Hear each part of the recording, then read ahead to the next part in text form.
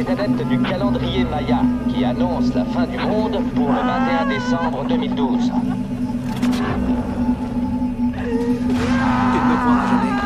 J'espérais que nous aurions plus. Le monde, tel que nous le connaissons, est sur le point de disparaître.